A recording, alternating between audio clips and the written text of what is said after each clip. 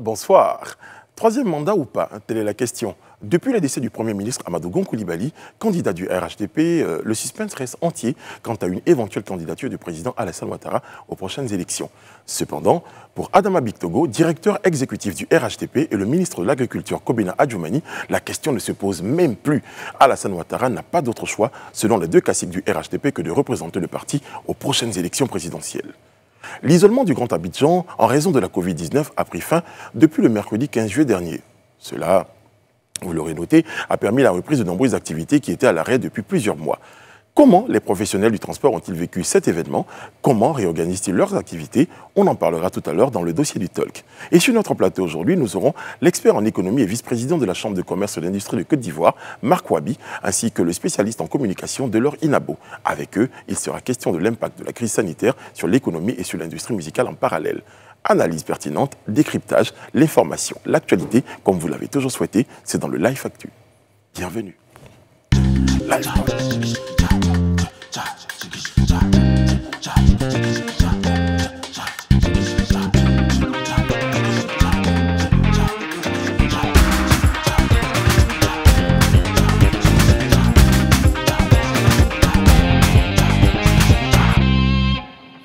Bien noté, hein, le live actu euh, m'aura dévancé. Hein. bienvenue dans le live talk. Et euh, comme tous les soirs, il y a la Team à mes côtés euh, pour analyser et commenter l'actualité d'ici et d'ailleurs. Mesdames, messieurs, comment vous avez passé votre week-end? Il était bien Vous avez passé un bon week-end? Super week-end. À la plage, en campagne Tranquillement à la maison. Moi ici à la maison avec Au travail samedi. D'accord. Bah, un revue de troupes sur le pont. Euh, Serge Kouachi était en bleu. Bah, j'ai découvert, euh, enfin, si, ça vous intéresse de savoir ce que j'ai fait de mon week-end, j'ai découvert un nouveau restaurant, par exemple. Ah. C'était sympa. Hmm. Tu as bien mangé? On n'était on, pas invités. Rien à assis. Ça va, tout en campagne, bien. En famille, en famille. En campagne. Quoi en campagne Non, en campagne. Bref. Edith Broubleu est en Jaune moutarde. Jaune moutarde. Merci beaucoup. Bonsoir Edith, comment ça va? Bonsoir. Euh, week-end devant un ordinateur Couché, affalé dans mon divan, la télé, voilà, tranquille. D'accord. Et euh, pour Sophie Aïda, je suis sûr que le week-end, il a été dans les étoiles. Shine, shine. shine, shine always. Non, au travail euh, samedi, mais euh, une très belle journée. En espérant que vous, téléspectateurs, avez passé un très très beau week-end, nous sommes très heureux de vous retrouver pour cette émission-là et on va l'entamer avec votre permission par ce tour de l'actualité d'ici d'ailleurs. C'est maintenant dans le Life Actu. Ce Life Actu-là. Pour notre live actu, euh, on va commencer par l'actualité politique est marquée par les sorties de messieurs Adama Bictogo et euh, Kobena Adjoumani. On en parle avec vous, euh, Edith Brou. Oui, exactement. sur RFI ce lundi matin, Adama Bictogo, le directeur exécutif du RHDP, s'est prononcé en faveur d'une nouvelle candidature du président Alassane Ouattara en vue de l'élection présidentielle d'octobre 2020. Il a écarté au passage d'éventuelles candidatures et il a surtout promis une réponse officielle dans les prochains jours. Il a été un peu plus clair et je cite L'équation pour nous, à la vérité, ce n'est pas qu'elle soit difficile à résoudre, d'autant plus que dans l'esprit de nos militants, dès que le drame est arrivé, parlant du décès du Premier ministre Amadou Gon, tout de suite la majorité de ceux-ci s'est retournée vers le président Alassane Ouattara. Il est la solution aujourd'hui, il est notre solution. Même son de cloche chez Adjoumani Kobenan, porte-parole du RHDP, qui soutient qu'à trois mois des élections présidentielles, le parti au pouvoir ne peut euh, se payer le luxe d'aller à de nouvelles consultations pour se choisir un nouveau candidat. Les dés sont jetés, euh, ce sont de grands soutiens pour le parti et surtout pour le président Alassane Ouattara. Mais moi, j'ai juste envie de dire, euh, comme une partie des Ivoiriens, pas très surprenant ces sorties-là. Bien sûr, pas très surprenant et euh, surtout la lettre, la si longue lettre de la si belle lettre, quand bien sûr, absolument. Très bien écrite. C'était, voilà, on sentait vraiment toute la dextérité, la dévotion, la passion c'était véritablement une sorte de, oui, de supplication, en tout cas d'invitation euh, de, de, de pas dans au président de, la République. La forme ne surprend pas tant que ça, parce que de toute façon, c'est le travail d'un porte-parole de parti, euh, de dire les choses bien et avec les mots qu'il faut. Mais, euh, oula, quelle dévotion En tout cas, les mots étaient bien choisis. On, on sait que le président Alassane Ouattara a recueilli, enfin, pour, pour ceux qui ont organisé cette, cette séance-là, a recueilli près de 700 000 signatures euh, qui étaient censées euh, évoquer une éventuelle candidature de sa part. Donc, le, une forme de pétition qui disait on est peut-être favorable à sa candidature. Donc, ils avaient euh, recueilli 700 000, euh, quasiment 700 000 signatures. Euh, Paris réussit sur Paris ce, réussit. sur ce volet-là. Est-ce qu'on n'est pas déjà dans une forme de, de- de stratégie pour sonder un peu l'opinion publique à travers ces sorties-là? Bien sûr, évidemment, et surtout même dans la, dans la, dans la, la fameuse lettre de Adjomani Kobenan qu'il a publiée euh, hier soir, euh, il a précisé lors du passage du président, en tout cas de son départ de, de Korogo après les, obsèques, euh, le fait que les jeunes de la ville, malgré la douleur, n'ont pas cessé de scander ado président, ado président, comme une manière de l'inciter, en tout cas de l'encourager à, voilà, ne, à ne pas baisser les bras. Est-ce qu'il a, lu- a lu une partie des réseaux sociaux qui disait ado, on veut pas aussi Non, non, mais, non, mais, euh, c'est- c'est c'est un, peu- c'est un peu facile. C'est vrai que la, la lettre a été, a été Bien écrite. bien écrite, mais euh, c'était un- c'est un peu facile de dire que les jeunes, euh, lorsqu'ils partaient, disaient au président. Parce qu'en vrai, qu'est-ce qu'il est, Alassane Ouattara Monsieur Alassane Ouattara, il est le président de la Côte d'Ivoire. À ce jour, il n'est même pas encore en campagne, il n'est pas candidat déclaré. Donc comment est-ce que vous voulez que les jeunes puissent scander son nom? C'est naturellement en disant ado président. Bon, après, qu'est-ce qu'il y a derrière Les interprétations? Chacun choisit ce qu'il a. Voilà, on, retient juste que- on- on retient juste en tout cas euh, de ces sorties-là que messieurs Adjoumani et Big Togo sont favorables à la candidature, à l'éventuelle candidature Mais du président. L'histoire retiendra également que j'en avais parlé, euh, je pense ici aux toutes premières heures. L'histoire, Mmh, la L'histoire retiendra dans les annales. En tout cas, euh, on va juste rappeler que, et rajouter que les, les prochains jours nous situerons sur les intentions des uns et des autres jusqu'à certainement une annonce. euh, Officiel. ouais. Euh, Sophia Eda aurait dit wait and see. Wait and see. Exactly. D'accord. Du côté du FPI, Serge, euh, non, vous n'êtes pas du côté du FPI, mais La précision est de taille, s'il vous plaît. Voilà. du côté du FPI, euh, il est question d'appeler la candidature euh, à la présidentielle. Et pour en parler, Serge Kouachi, Exactement. Voilà. Donc euh, voilà, pour en parler, et euh, je ne sais pas pourquoi c'est tombé sur moi d'ailleurs, mais bon, puisque nous sommes là pour traiter de Bah oui, non, je, je me suis dit, euh, bon, il y avait une dame qui avait parlé, donc je voulais faire juste un peu l'équilibre. Mais que de toute façon, peu importe, on, on est là de façon très impartiale pour traiter l'actualité. Alors justement, le, le FPI euh, a donc fait un appel à candidature. Voilà, pour les présidentielles 2020, les dossiers de candidature sont reçus par le comité de contrôle du 20 au 27 juillet de 10h à 17h au siège du FPI, Fondation Mémel Fauté, au Vallon, pour ceux qui connaissent en tout cas et qui sont intéressés euh, par, euh, par ce siège au niveau du parti du FPI. Euh, voilà, on ne va pas vous faire état de, de tout ce qu'il y a à mentionner en ce qui concerne le dossier de candidature. Il C'est disponible sur, sur Internet et notamment sur leur site. Par contre, il faut savoir que les dossiers de candidature sont reçus, donc, comme je disais, par le comité de contrôle et le traitement des dossiers et ouverture éventuelle du contentieux, parce qu'il peut y en avoir un. Voilà. du mardi 28 au jeudi 30 juillet 2020 euh, seront donc traités euh, ces contentieux si jamais il y en a. Et euh, la publication des candidatures définitives par voie d'affichage, ça se fera le vendredi 31 juillet 2020. On est Aléa Jacques Taé. Ok. Mais je suis curieuse de savoir de quelle tendance FPI euh, De quel contentieux Aléa. C'était c'est- ma conclusion. Aléa Jacques Taé. Mais il faut, faut- faut rappeler que sur ce même plateau, nous recevions euh, la semaine dernière euh, le président du FPI. Pascal Afin Guessan, qui déjà annonçait qu'il était candidature à la candidature. Donc ce ne serait pas étonnant de Bien voir que pour cet appel à la candidature, là, il, Absolument. il- il soit présent sur les listes. Bon, euh, les, jeux sont, les jeux sont faits, rien ne va plus, comme on dit. Exactement. Il faut, faut être habitué au casino.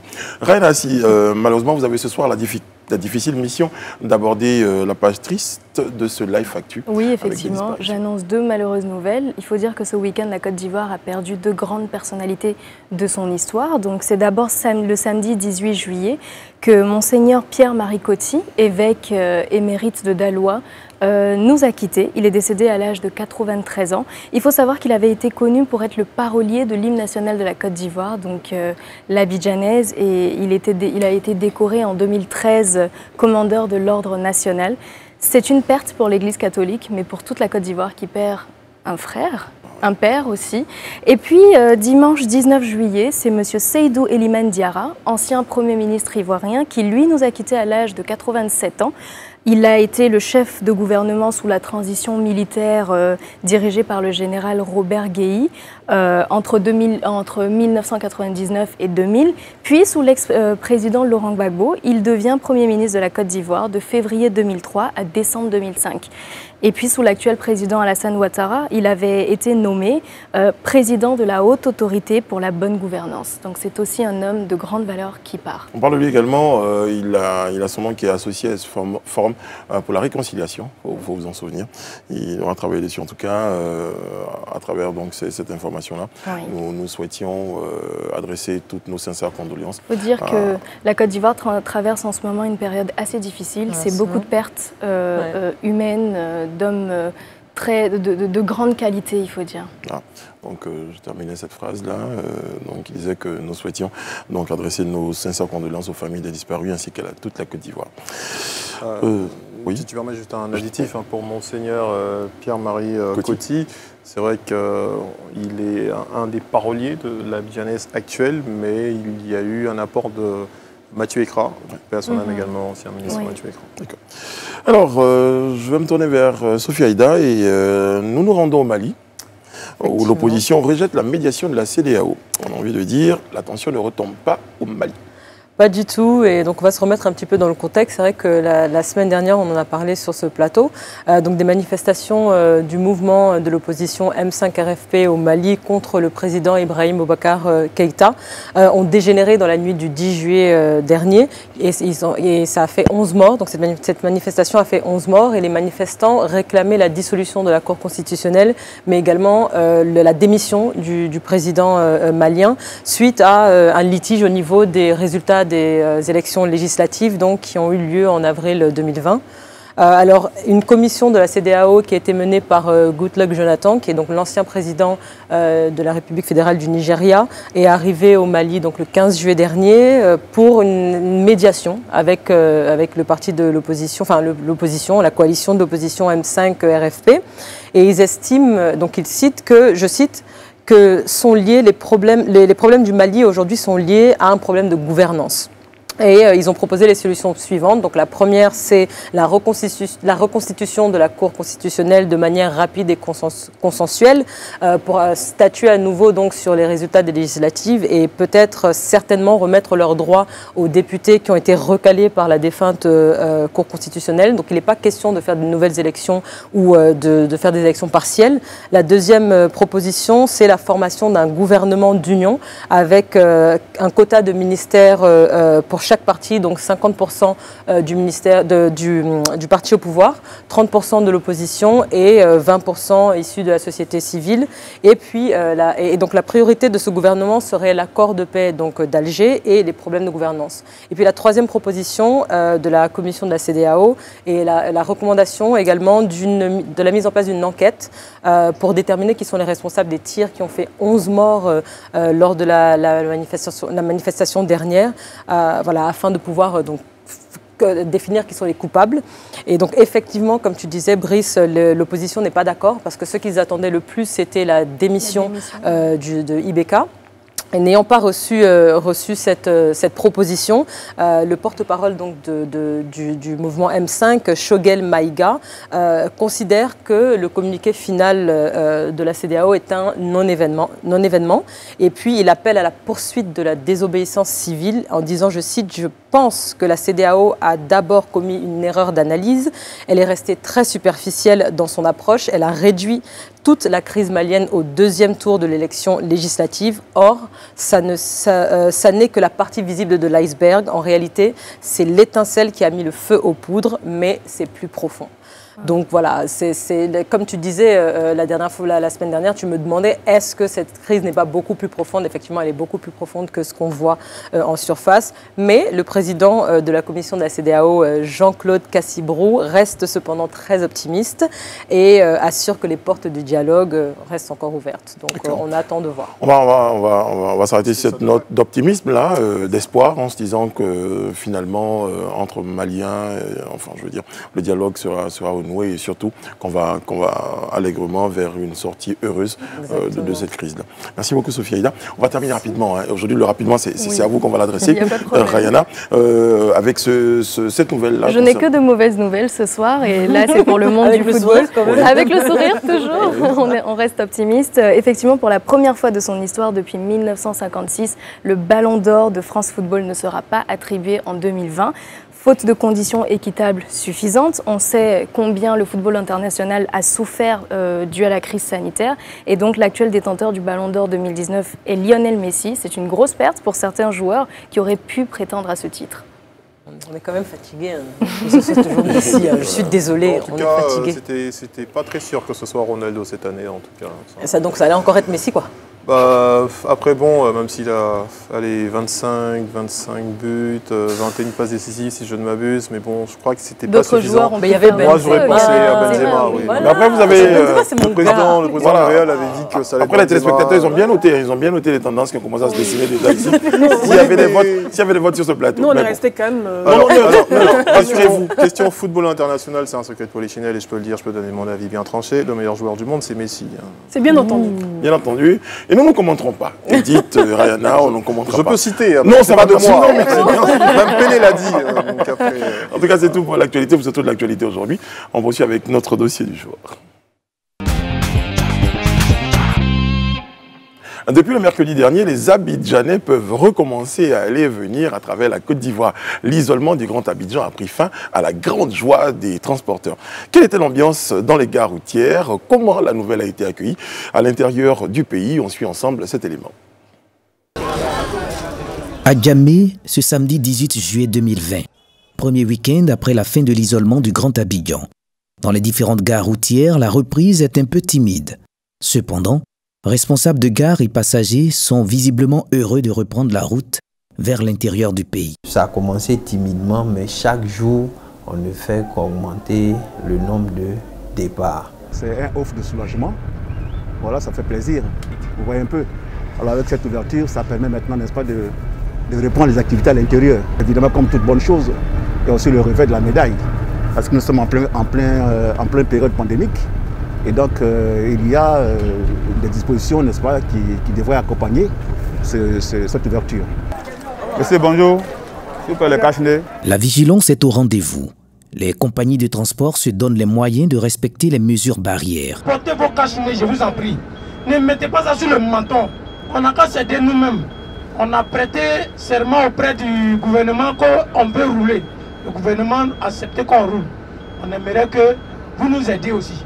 Il ne faudrait pas qu'on revienne encore à l'autoroute pour venir fermer pour dire le taux de maladie s'augmente. Après plus de 238 km de route, nous arrivons à Yamsokro, la capitale politique ivoirienne. Ici, le secteur du transport a fortement été touché par l'isolement du Grand Abidjan. On a été vraiment très triste de constater que les tarifs ont pris l'ascenseur, alors que les revenus eh bien, des concitoyens eh bien, sont restés très faibles. Ça pèse vraiment dans la poche. Déjà, les mesures restrictives qui sont venues nous imposent de prendre 50 places, 50 passagers dans les cars. Et cela a une influence aussi sur le coût hein, du voyage.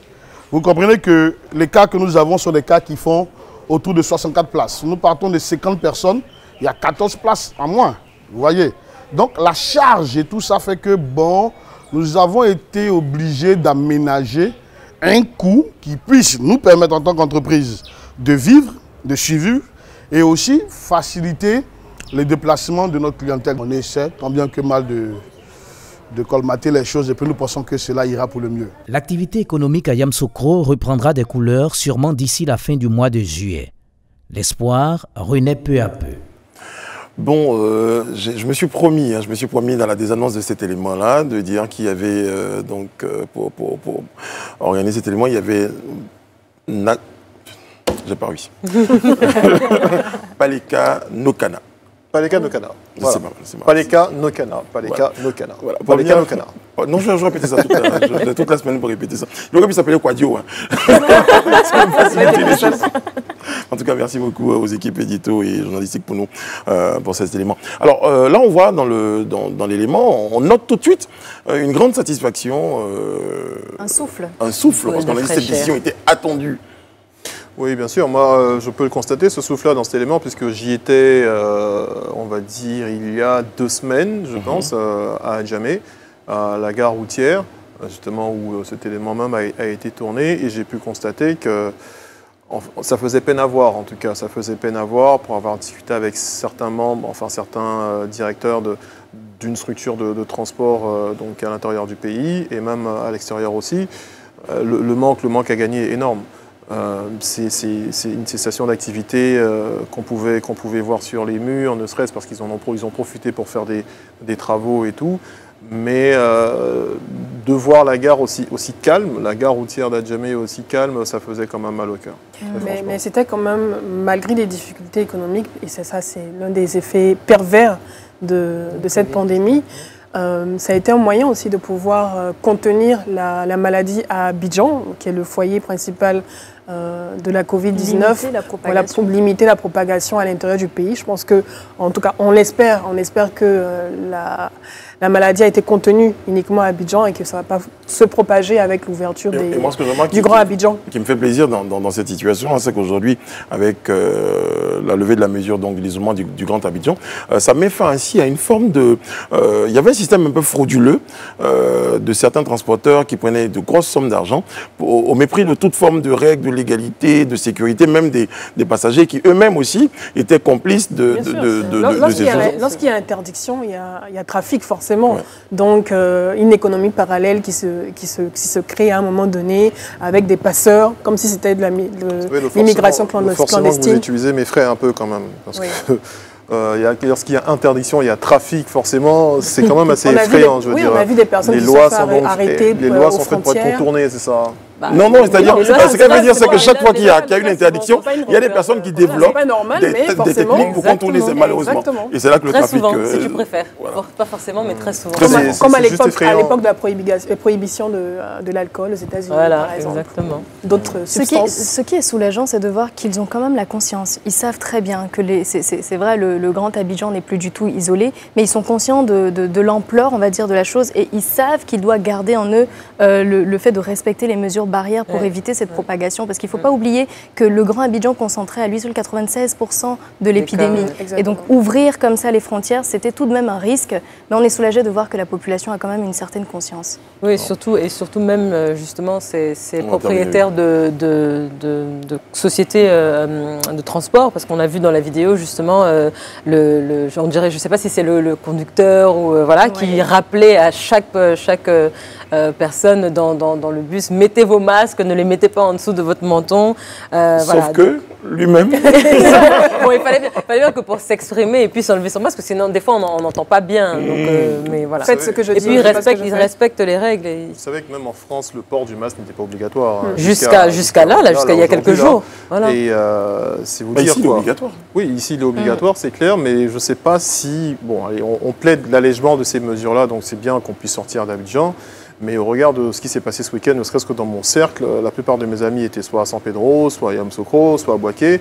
Et quand on sait qu'on a 96% euh, des cas à Abidjan, Oui, allez, non, on ça- va croiser les doigts. Mesures barrières, s'il vous plaît. Mesures barrières, respectez les mesures barrières.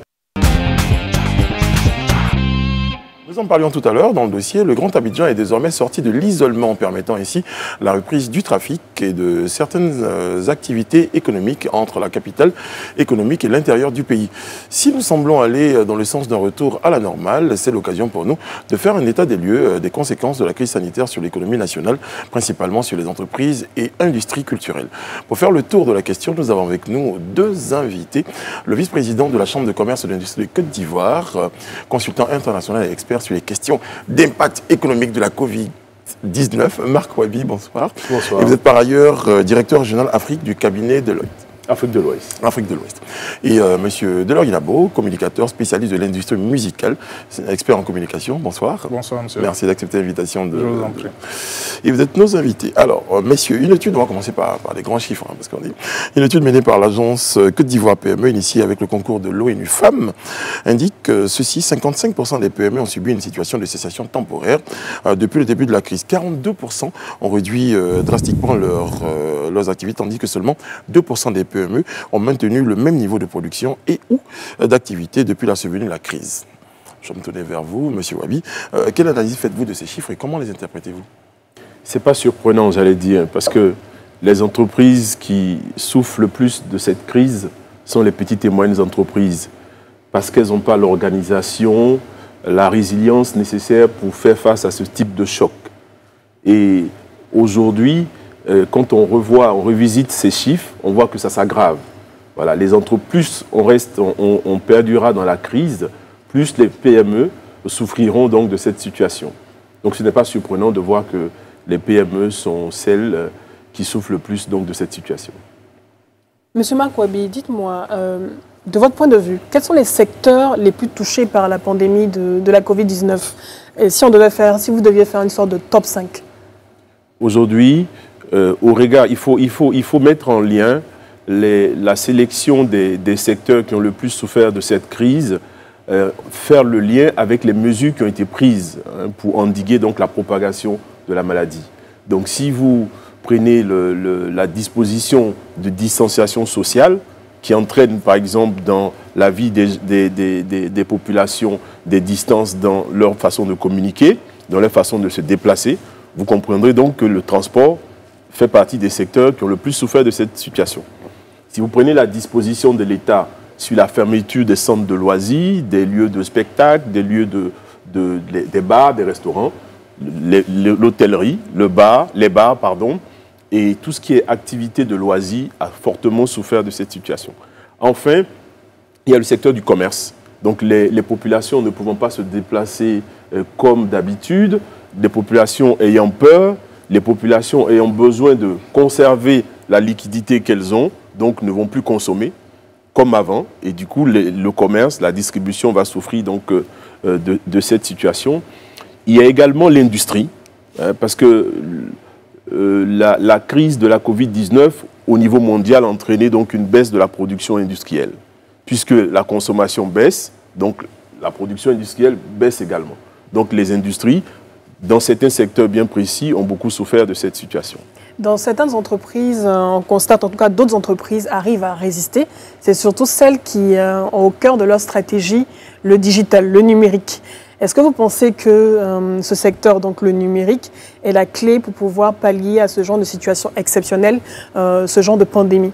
Parce qu'on a bien entendu depuis longtemps les, les, questions de télétravail. Exactement, qui sont revenues en flèche pendant cette période, euh, des personnes qui n'avaient pas l'habitude d'utiliser, euh, de faire des conférences euh, sur Internet, ont dû s'y résoudre. Est-ce que vous pensez que le numérique est la clé pour, pour les entreprises C'est une réponse. Le numérique est une réponse à, à, à, cette crise, parce que cette crise change les habitudes de travail. Donc euh, les, les, les, employés sont plus obligés, en tout cas on souhaite qu'ils ne viennent plus au travail comme ça se faisait traditionnellement, mais il faut les maintenir au travail. Du coup, il faut avoir recours à des nouvelles formes de travail, donc le travail à distance. Et pour pouvoir réaliser le travail à distance, il faut, faire appel à la technologie. Et donc les entreprises, notamment les petites et moyennes entreprises, qui n'ont pas les moyens d'investir dans ces nouveaux euh, moyens de travail, se retrouvent dans une situation où elles sont obligées de subir plus fortement la crise que les autres. Il est clair que euh, la transformation que les entreprises doivent intégrer, c'est l'utilisation massive de la technologie et donc du digital. Et, euh, si on en croit euh, votre top 3 que vous nous avez énoncé tout à l'heure, euh, les secteurs les plus touchés, on va dire que c'est, euh, ça commence par le tourisme et les loisirs. Mm -hmm. ensuite, c'était le commerce. Le et, et, après, bon, ça, je mets ça dans le tourisme et loisirs, hein, mm -hmm. les, les, transports. C'est, difficile pour, les, pour le secteur du tourisme et loisirs de s'investir dans le digital et à espérer gagner de l'argent. Hein, parce que voilà, là-bas, mm -hmm. on parle forcément de, de connexion, de contact. Je vous prends un exemple hein, pour, pour, répondre un peu à votre préoccupation. Les, musées, pour, vous visitez un musée, vous voyez les pièces, quelquefois vous pouvez les toucher. Donc c'est la, vision traditionnelle, j'allais dire, de l'activité de, gestion d'un musée.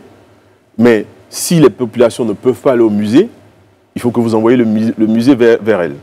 Donc par exemple, que vous digitalisez tout le processus de la visite de façon interactive, que vous ayez un portail qui permette aux gens de payer pour visiter et même se rapprocher plus qu'elles ne peuvent des pièces que dans, une, dans, un, dans une visite traditionnelle. Sur le transport, les transformations des activités résultent aussi des impacts. Le transport est, un, est une activité, j'allais dire, qui, qui accompagne les activités principales. c'est parce que les gens se, doivent se déplacer pour aller à leur travail, ils doivent se déplacer pour aller à les loisirs, que le transport existe. Donc si ces personnes ne se déplacent plus comme avant, il faudrait réguler aussi la façon de transporter. L'intervention digitale dans les activités de transport, c'est la régulation des flux de population. C'est-à-dire de pouvoir adosser donc les, investissements qu'on fait, l'activité qu'on mène avec les flux de population. Et c'est en analysant donc les flux de population à travers des outils euh, technologiques qu'on peut donc ajuster la voilure des, sociétés de transport. Le digital euh, intègre toutes les activités et on ah. peut la remettre euh, en fonction des, spécificités des activités. Donc, on disait euh, tout à l'heure, M. Wabi, que ce n'était que ce n'était qu'une solution. Hein, ça faisait partie des solutions. Euh, dès lors, vous êtes avec nous. Est-ce que euh, vous, vous, changeriez le top 3 en, incluant l'industrie culturelle dans, les secteurs qui ont été plus durement touchés? Mon avis peut paraître, j'ai envie de dire, radical, mais il apparaît de toute évidence que dans notre configuration ici en Côte d'Ivoire et plus généralement en Afrique, c'est le secteur le plus touché. À preuve, aujourd'hui, les autorités se battent pour remettre d'aplomb tous les autres systèmes de fonctionnement, mais le monde de la nuit, le monde du divertissement, le monde du contact est encore en stand-by. Après, après on, va, on va revenir à vous justement pour, pour essayer de, de, trouver... Enfin, des, explications euh, sur cette décision, en tout cas le retard euh, que les autorités prennent, en tout cas la lenteur qu'on peut constater dans la prise de décision d'ouverture de, tous ces espaces-là, ça doit, ça doit répondre à un besoin. Il doit peut-être avoir une explication. Estimant peut-être qu'il y, a des secteurs qui sont prioritaires euh, parce qu'on a besoin de se, déplacer, on a besoin d'aller manger, on a un peu moins besoin peut-être d'aller en boîte de nuit. C'est peut-être ça qui, expliquerait ça, mais on, aura l'occasion d'en parler tout à l'heure, à votre permission. Euh, euh, un plan, on va revenir surtout au fonds de soutien des, PME, je pense que c'est ce qui, aussi intéresse, euh, qui nous intéresse. Un plan d'aide de 1000 milliards a été mis en place pour soutenir les PME, toutes les, TPE. Quel est le rôle joué par la Chambre de commerce dont vous êtes vice-président, la Chambre de commerce et d'industrie, en appui à ces entreprises? Je vous remercie pour cette question le, rôle de la, Chambre de commerce et d'industrie, au cœur en tout cas du dispositif qui a été pris en, charge par le, gouvernement, euh, le gouvernement a mis sur la table 1700 milliards, hein, pas 1000 milliards, 1700 milliards de francs CFA, globalement dans le cadre de la riposte socio-économique et humanitaire, dont 250 milliards dédiés au secteur privé. Et dans la formulation de ce plan de riposte, la Chambre de commerce, le patronat ivoirien, le FIPME se sont retrouvés avec le gouvernement ont précisé auprès du gouvernement les difficultés que rencontrent les entreprises et sur la base de ces échanges avec le gouvernement, le gouvernement a pu monter donc ce plan. Ce plan, il est organisé comment? La Covid-19 a créé au sein des entreprises un besoin important de liquidité. Les banques font face, estiment en tout cas, que la situation économique est difficile et qu'elles devront faire face à des déchéances, à des défaillances de leur, de leur contrepartie, donc des entreprises. Donc il fallait que, l'État, que les, institutions comme la Banque centrale interviennent pour rassurer le système, pour rassurer les banques, rassurer les entreprises et mettre de l'argent dans le système. C'est clairement ce qui a été fait. Donc l'État aujourd'hui, à travers ce fonds, propose des subventions, propose des prêts à des taux euh, zéro, à des taux réduits, et donc aide le système à, se à reprendre de lui-même. Justement, monsieur, monsieur Wabi, euh, certains acteurs de, ce système-là disent ne pas véritablement ressentir euh, l'impact de, de, de, cette mesure-là. Vous êtes d'accord avec moi ou... Il est clair que, euh, quand, vous savez, les, les, mesures qui, sont, qui, qui ont été envisagées sont des mesures de soutien.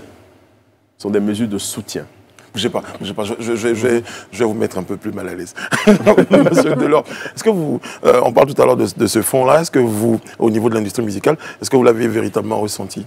Euh, déjà, même qu'il faudrait nous repréciser les lignes qui ont été affectées à l'industrie musicale et dans quelle, euh, j'ai envie de dire, présentation. Voilà, à, à quoi est-ce que c'était destiné concrètement? Parce qu'un bar, un restaurant, un hôtel qui n'ouvre pas, je ne sais pas à quoi peut servir un fondi de soutien en fait. Et moi, j'aimerais surtout revenir sur, euh, parce que vous avez parlé de, vous avez bien précisé. la question est posée. Hein. voilà. C'est pour ça que je parlais de fonds de soutien. le, le fonds aujourd'hui, il y a un fonds qui est dédié aux grandes entreprises, il y a un fonds qui est dédié aux petites et moyennes entreprises, il y a un fonds qui est dédié aux acteurs du secteur informel et il y a le fonds de solidarité. Le fonds de solidarité est orienté vers les ménages. Dans ménages, il faut entendre les populations, il faut entendre par exemple les travailleurs de monsieur. Donc, le fait que monsieur a son activité qui est arrêtée, il payait des salaires à ses employés qui leur permettaient de consommer, de faire face à leurs besoins. L'État comprend que du fait d'avoir pris une disposition pour arrêter donc les bars et les restaurants, les employés de ces, activités n'ont plus de revenus.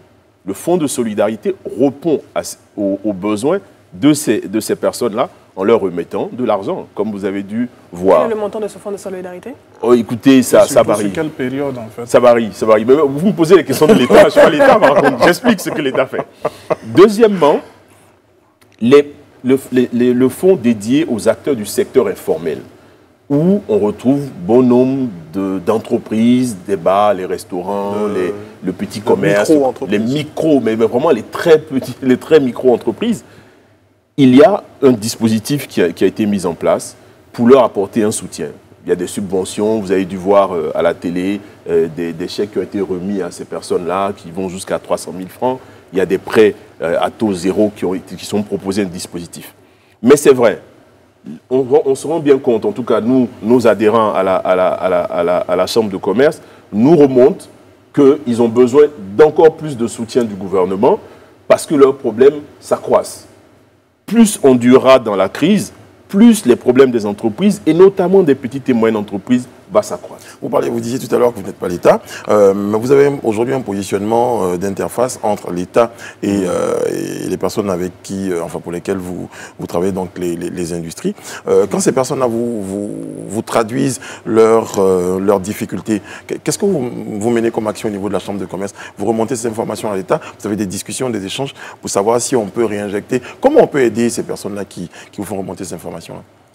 La première action qui a été menée par euh, la Chambre de commerce d'industrie, comme par le patronat, c'est de mettre en place un dispositif pour accueillir les, entreprises, pour leur expliquer le dispositif. Parce que bon nombre d'entreprises ne comprennent pas le dispositif et ne comprennent pas comment solliciter le dispositif. Donc on a un guichet d'accueil, que ce soit au niveau de la Chambre de commerce d'industrie qu'au niveau de la CGECI, il y a un guichet d'accueil. Donc les entreprises, les petites et moyennes entreprises, les grandes en fonction de leur taille, peuvent venir sur ces deux guichets-là pour s'informer.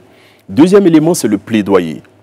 Et il faut dire que le gouvernement est à l'écoute du secteur privé. Le secteur privé a sollicité le gouvernement sur plusieurs sujets, notamment le report du paiement des, des- impôts, euh, l'opérationnalisation rapide du dispositif. Vous avez vu que l'État a tellement voulu que le dispositif se mette en place qu'il y a un dispositif transitoire qui est arrivé avant que le dispositif officiel ne se mette en place. Et ce dispositif transitoire, il a fonctionné bon mal an. Aujourd'hui, notre euh, action vis-à-vis du gouvernement, c'est de faire en sorte que le dispositif se mette rapidement en place. Et je pense que dans les prochains jours, le dispositif va pouvoir se mettre en place. Et nous sommes, que ce soit à la Chambre de commerce et d'industrie, que ce soit à la CGECI, disponibles pour écouter et pour aider nos adhérents à pouvoir solliciter le dispositif à, à- et à vraiment euh, euh, s'en sortir. Alors, je, je suis tenté de poser, poser la question, mais monsieur est là, donc euh, je pense que ce serait peut-être à lui de la poser, mais euh, je vais quand même m'aventurer à le faire. Euh, Est-ce que vous pensez, alors je pense que la meilleure des choses, c'est de vous poser la question à vous, est-ce que vous pensez que ces différents fonds, notamment de solidarité et d'aide aux petites et moyennes entreprises, fonctionnent? Alors, mon avis sur cette question est que la plupart de ces fonds a été calibré pour faire du symbolique. On a, on, a, on a alloué une enveloppe, on a fait une distribution pour marquer ne serait-ce que pour le message, pour le principe du message, pour ne pas qu'on dise qu'on a été muet pendant cette période difficile, pour faire du symbolique. Sinon, Pour les artistes et les acteurs de... il est très difficile c'était 500 millions d'admettre il est très difficile d'admettre qu'on apporte comme réponse à un artiste qui en temps normal engrange minimum 6 000 euros par week-end au travers de ces différentes sollicitations qu'on demande au ministère de la Culture d'ordonner au Burida de faire un paiement par avance de leurs droits d'auteur qui maximum ne vaut même pas 300 000 francs par tête. C'est insignifiant quand on traverse une crise de ce genre qui perdure maintenant depuis près de six mois tous les établissements, les espaces d'expression de ces personnes-là sont fermés. Vous voyez, la plus grande, disons, ancienne brasserie de Côte d'Ivoire, c'est pour ne pas citer son nom que je la présente ainsi, a, a, a, dénombré environ 43 000 espaces culturels à Abidjan. Je ne parle pas du reste de la Côte d'Ivoire. À Abidjan, dont environ 20 000 boîtes de nuit et caves. Quand on comprend qu'une boîte de nuit classique de Yopougon, je ne parle même pas du plateau et des autres coins UP, de Cocody et autres, mais d'une boîte de nuit classique de Yopougon emploie en moyenne 10 personnes par jour, que des espaces comme l'incontournable Niawa, par exemple, occupent au moins 20 personnes par jour, toutes ces personnes-là qui elles-mêmes ont à leur charge des familles, comment est-ce qu'on trouve une réponse satisfaisante dans ces 1700 milliards dont l'étiquetage relève pour nous plus du symbolisme qu'autre chose? On nous avait annoncé également euh, des chiffres selon lesquels des bars et boîtes de nuit étaient fermés à hauteur de 500 et quelques et euh, près de 2500 maquis, mais vous venez de nous dire que... Non, mais écoutez, moi je vous donne des chiffres qui ont été avancés par celui qui leur donne à boire à celui, par celui qui leur donne, qui leur distribue la boisson. Les chiffres que l'État nous a communiqués ne sont pas, sont pas vrais. Je n'y crois pas. Je ne dis pas qu'ils ne sont pas vrais, mais je n'y crois pas. J'accorde plus de crédit à ce que les opérateurs de terrain eux-mêmes disent. Ok? Si c'est qu'eux ici disent des choses. Euh, non, ouais, non, mais ils mentent. S'ils devaient mentir, à mon avis, ils, ils, auraient réduit les chiffres en fait. Autrement dit, euh, je, je, je, vends de la boisson à 5 millions de personnes, mais pour des raisons évidentes, je dis que j'en vends seulement qu'à 2 millions. Voilà, on se comprend. Le truc, le vrai drame qui se joue ici, c'est que nous sommes malheureusement inscrits dans un, j'ai envie de dire, dans une réponse mimétique avec l'Occident. Le problème qui se pose est que quand nous avons affaire à l'école qui est fermée, il nous faut absolument, pour sauver l'année, trouver des dispositions pour la réouvrir. En ce moment-là, on fait asseoir les enfants à la maison, on laisse ceux du secondaire aller à l'école, on rend d'autres classes disponibles, on espace l'emplacement des enfants dans la salle de classe. Il y a des solutions que les gouvernants trouvent. Le problème qui se pose, c'est pourquoi est-ce qu'il n'y a aucune réflexion étatique, gouvernementale sur des propositions concrètes pour des solutions de, de, de, je veux dire, afin de restaurer l'activité de ces gens-là. Mais on attend de pouvoir vaincre le virus alors que tous les autres systèmes d'activité ont des solutions qui sont proposées par les autorités. C'est bien noté. Pour revenir, hein, monsieur, monsieur parce que j'avais promis une réponse, euh, mmh. monsieur Delors disait que c'était juste une, euh, une forme d'effet d'annonce, c'était juste symbolique. Est-ce que vous êtes d'accord avec, avec ce qu'il vient de dire? Non, je pense, que les, je pense que le gouvernement fait un effort important. Il faut, il faut ramener, les, il, faut, il faut faire de la perspective avec les chiffres. Aujourd'hui, le gouvernement a prévu environ 1 1700 milliards. Ça représente 5% de la production intérieure brute. 5%. Il faut, faut, évaluer la production intérieure brute à 34 000 milliards de CFA. Donc quand on met 1700 milliards sur 34 000, ce n'est pas pour résoudre tout le, tout le problème. C'est dans la première phase, c'est la riposte. Mais là, on parle d'un secteur assez précis. Non, non, j'y arrive. La première étape de l'action du gouvernement, c'est d'éviter qu'on prenne l'eau de toutes parts. Et il faut savoir que la crise est une crise sanitaire. Il, faut revenir à, à, ce, à, à, cette question qui est importante. C'est une crise sanitaire. C'est une crise qui fait en sorte que les populations peuvent trouver la mort si l'État ne prend pas des dispositions. Donc vous avez, vous avez un dilemme entre laisser continuer une série d'activités qui pourraient entraîner une propagation plus forte de la maladie. Donc, vous avez cette question-là. Deuxième point, vous avez que l'État n'a pas toutes les ressources. Vous savez, si les États avaient assez de ressources, bon, tout le monde passera à la caisse et puis on réglerait le problème. Donc, l'État essaie de voir comment soutenir l'activité économique. Et je suis désolé pour monsieur, aujourd'hui, la réponse qui est proposée par l'État ne permettra pas de euh, sauver toutes les entreprises du, secteur des loisirs. C'est clair, on ne va pas se tromper là-dessus. Maintenant, qu'est-ce que l'État veut faire? L'État veut dire, écoutez, vous voyez la structure de loisirs, le bar qui ne sauve pas, mais à l'intérieur du bar, au travers du bar, il y a des hommes et des femmes qui trouvent les moyens de leur subsistance à travers ces bars. Donc, trouvons quelque chose pour répondre aux ménages. C'est les fonds de solidarité. Mais ça ne répond pas à, tout le problème de, de, de, de, monsieur. On essaie, avec les moyens qui sont très euh, minimes de l'État, de répondre à des questions assez, assez importantes. Et je suis d'accord avec vous, on ne pourra pas régler tous les, tous les problèmes. Et nous, au sein de, de, la Chambre de commerce et d'industrie, on attire l'attention de l'État pour mettre beaucoup plus de moyens sur la table. Et l'État a dit, j'ai fait un bout avec vous, avec le secteur financier, essayons de faire l'autre partie.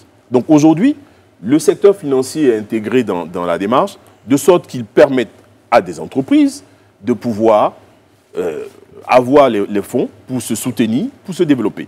L'autre chose que je voudrais aussi, sur laquelle je voudrais attirer l'attention, c'est clair que cette crise doit entraîner des changements de, façon de faire, doit entraîner des changements dans notre façon de consommer, dans notre façon de profiter des loisirs. Il faut créer cela. Parce qu'il est inévitable qu'au sorti de cette crise, beaucoup d'entreprises n'existeront plus. Mais il est clair que les entreprises qui seront là après cette crise, ce sont les entreprises qui auront tiré le plus d'enseignements sur la situation. Je reviens sur les, artistes. Aujourd'hui, bon nombre d'artistes comprennent que nous ne pouvons plus faire de, concerts, et c'est à travers euh, tous ces outils digitaux à vendre de la musique. Et c'est de créer des, musiques, de créer des vidéos, et puis de les faire diffuser à travers... Donc il faudra réfléchir, il faudra être innovant. Ça ne va pas être facile pour tout le monde. Je suis désolé, mais il y a des entreprises qui en mourront. on va parler des artistes hein, justement avec vous, euh, de Nabo. Euh, aujourd'hui, si on a fait un état des lieux, est-ce qu'il y a un secteur particulièrement qui est touché euh, au niveau de l'industrie musicale? Ben, c'est malheureusement un, secteur dont les maillons sont, tellement, oui. sont tellement entrechaînés qu'il est, il est difficile de les départir, de les séparer. Alors, je vous prends un exemple de l'artiste classique de coupé décalé. Quand vous prenez quelqu'un comme Serge Beno, il, se produit minimum avec quatre danseurs. Il a un agent, il a, il a probablement un bodyguard, il a son chorégraphe. Il a un bon monde autour de lui. Oui, mais ça fait pratiquement environ 10 personnes quand il doit aller dans un seul endroit, vous voyez. Mais quand on me dit que ce qui se présente aujourd'hui aux artistes, c'est d'essayer la solution du digital, en fait, on n'a on rien fait. Parce qu'on a toujours eu accès à nos artistes sur YouTube et toutes les autres plateformes. Qui... En fait, il n'y a pas de valeur ajoutée ni de nouveauté dans ce qui est proposé maintenant. Quelqu'un me dit, quelqu'un me dit souvent quand on critique, il faut proposer. Euh, on est malheureusement en train de justement moi mes propositions. je, viens à, vous par rapport à ça. Quelles sont les propositions concrètes que vous, vous suggérez pour je pense qu'il faut décoloniser la peur dans laquelle on essaie de nous maintenir, mais vraiment sans succès. Et c'est les chiffres qui sont nos meilleurs alliés. Quand vous prenez aujourd'hui les résultats qu'on nous donne pour faire le ratio entre les personnes qui sont, euh, j'ai envie de dire, euh, décédées. Non, celles à qui on fait faire le test et celles qui sont déclarées positives. Et quand vous comparez à cela le nombre de personnes qui guérissent, c'est-à-dire qui sortent positivement de ce tsunami-là par rapport à celles qui décèdent, il est temps qu'on arrête de nous faire il dit que 80% des personnes qui contractent cette maladie guérissent seules. En fait, le, ce qui est vrai et, comment dirais-je, indiscutable, c'est la rapidité dans la propagation du mal. Maintenant, la létalité du mal, la mortalité de la maladie, qu'en est-il? Il faut qu'on en parle. Il doit arriver un moment où le courage de regarder cette maladie en face doit nous habiter afin, afin qu'on fasse taire la voix de la pauvreté qui commence, elle, à prendre le pas sur le mal même que cause la maladie dans, la réalité. Ce que vous proposez concrètement, c'est, euh, dans un premier temps, euh, d'arrêter d'avoir peur. Arrêtons d'avoir peur. C'est par ce canal-là que nous allons avoir la lucidité pour trouver des propositions concrètes pour les espaces. Si on a peur de la nuit parce qu'on ne sait pas bien ce qui s'y passe, on peut déjà permettre que les bars ouvrent la journée. Il n'est pas plus dangereux d'entrer dans un bar que d'entrer dans un bus. Il n'est pas non plus plus dangereux d'entrer dans un bar que d'entrer dans un baka. De vous à moi, ici, nous respectons plus ou moins les mêmes distances. Quand on monte dans le bus, dans le taxi ou dans le baka, quelle est la différence fondamentale en termes d'espacement avec celui et celles qui sont assis dans, dans le bas? Il n'y en a aucune.